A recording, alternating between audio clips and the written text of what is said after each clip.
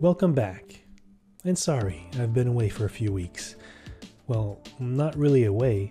I've just been really busy at work and mostly procrastinating around the Z80, meaning I've been designing a few things during my spare time that's not really related to the Z80 core. I've done a few things, such as correcting the clock circuit. One of my subscribers pointed out to me that while the programmable clock is glitch free, the manual one wasn't really. And that's a good point. So I added a couple of JK flip flops and an extra multiplexer to resolve the issue. Big shout out to Adrien Kohlbecker for the inspiration. Check out his channel. His 65816 build is really cool. Here's a quick montage of the changes I've made.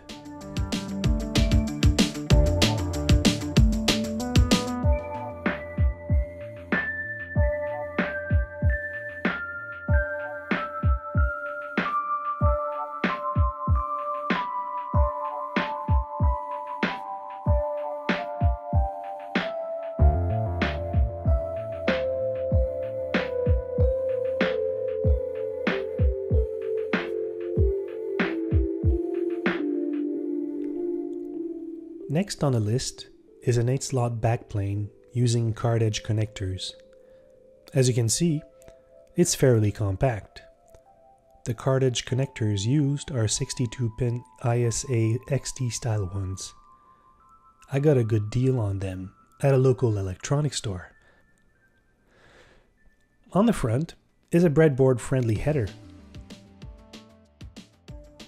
On the left, you have the on off switch Right beside it, you have a 5 volt barrel jack connector for powering the backplane. I know that some prefer to have a higher source voltage and regulate it with a 7805, for example, but that limits the current to 1 amp on average. I wanted some headroom for future expansion, just in case. I did add a 3.3 volt regulator, but that's optional. It doesn't need to be there. There are two indicator LEDs, one for 5 volt and the other for 3.3 volt.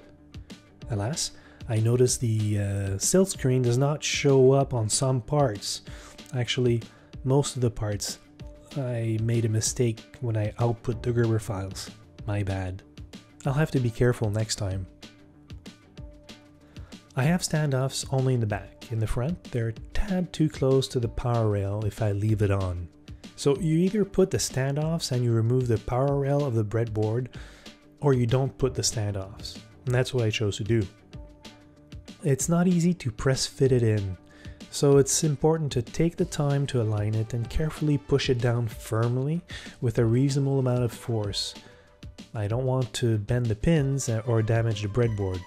In this case, as you can see, it's a bit harder than expected because it's a cheap breadboard.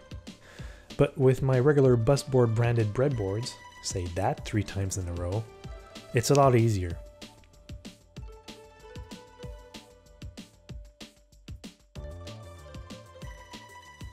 This is a passive backplane, so it's just your run-of-the-mill parallel traces going from one end to the other, with filtering capacitors on the power traces. Now because I don't have bus termination and because I branch out to a header, I could have some issues at higher speeds, and that's why I chose to make a complex variable clock circuit. It's to test things out. Another side project I worked on is a high density DIP64 1.77mm pitch to breadboard adapter. I made these more than I needed, so I could experiment with a Yamaha V9958 instead of the tried and true TMS 9918A or 28A. Yes, you caught me. I made those at JLC PCB, and no, I'm not sponsored yet, but in my case, they come out cheaper than other manufacturers, including the shipping, and that's why I chose them. I may put those adapters for sale for a token price if there's interest in them. I received the sockets not too long ago, so let's open the package and see if they fit. You never know, my custom KiCad footprint might be slightly off. Yes, perfect fit. I just need to solder socket before the headers. Otherwise, it's going to be hard to put the iron in if I put the headers first. With one power rail, you only get one series of holes on the breadboard. But if you have two power rails, it gives you three holes to work with. In my usual setups, I only use one power rail because it takes up less space for long boards. But I may put two in case, just for that row. Also, I've been working on a keyboard.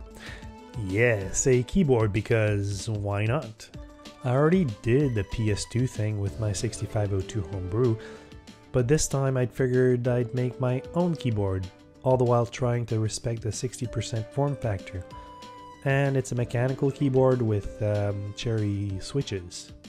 Instead of having 61 keys like a regular 60% keyboard, I made it with 64 keys, so it occupies the full 8 rows by 8 column matrix. I placed silkscreen on both sides and also put the row and column numbers for each key for reference purposes. Also, every key has a diode to prevent back current. All the holes for the standoffs are designed with the 60% standard in mind. I also put some extra holes just in case I wanted to make my own case. Oops, what's this? Looks like some sort of residue from the manufacturing process. That's the first time I've seen this.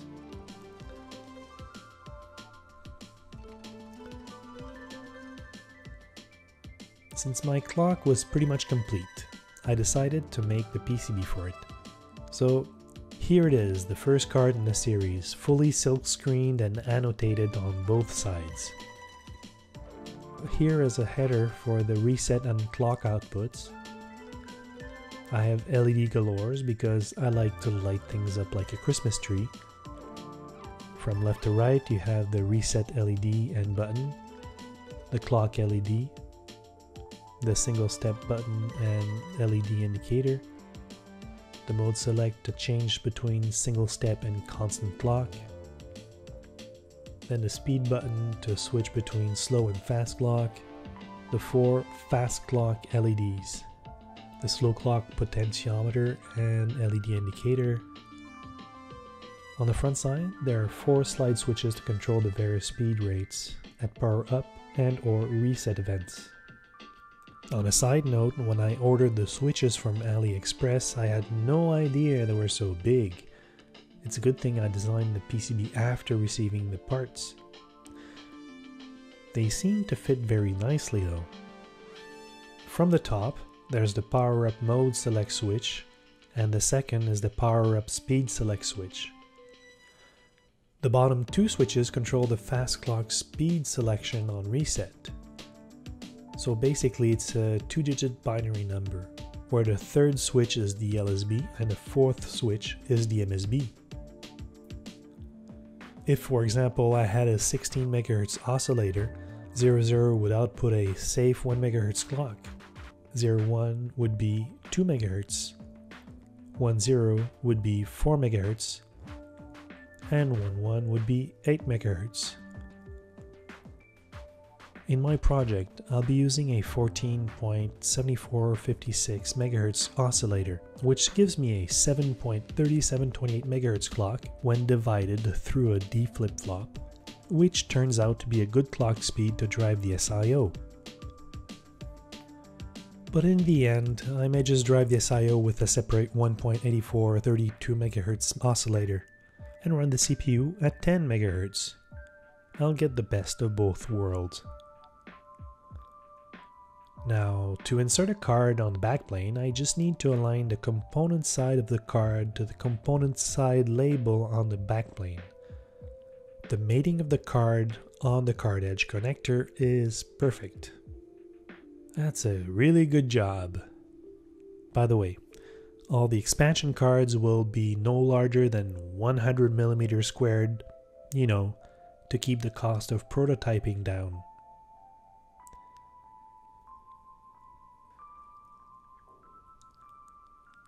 And now the cart before the horse. Yay! The CPU and memory card. Yes, I know I haven't tested the CPU on the breadboard yet. yet here it is. But I based my design on Grant Searle's and John Winans' design, so in theory it should work. Crossing my fingers on that.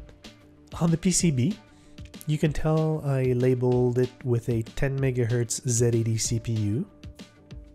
Above that, there's a 512 kilobyte of RAM, which will be banked in 32 kilobyte chunks. On the other side is the bank select circuitry. And above the RAM is a 120 kilobyte flash that is hardwired to 64K. As you can see, the silk screen is on both sides. I'm just not quite sure if it's too much. What do you think? I also have LED galore because, you know, Christmas tree and all. From left to right, you have the M1, MREQ, IORQ, read, write, wait, alt, int, NMI, BUSREQ, BUSACK, ROM, and RAM selects. It's not going to be useful at high clock speeds. I mean, it's going to be lit 100% of the time. But it is going to be practical for debugging at slow and single step clock speeds. Mm, I think I'm going to do the PCB and forego the breadboard altogether. Uh, I like to live dangerously, I guess. It might work or it might not, but I'm fairly confident it will. In my PCB layout design, I made sure I could put a ZIF socket. The ZIF itself will be mounted on a socket, as I don't want to waste a perfectly good ZIF on a prototype. Now let's see if it fits. I think the pins are a bit crooked, so I need to be careful. Yes, it looks good. I'm quite pleased.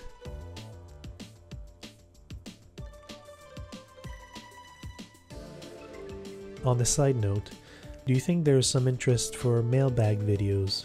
Because I receive quite a lot of components that I purchase, and sometimes people are interested to see what others bought. So I may put videos like that if there's interest.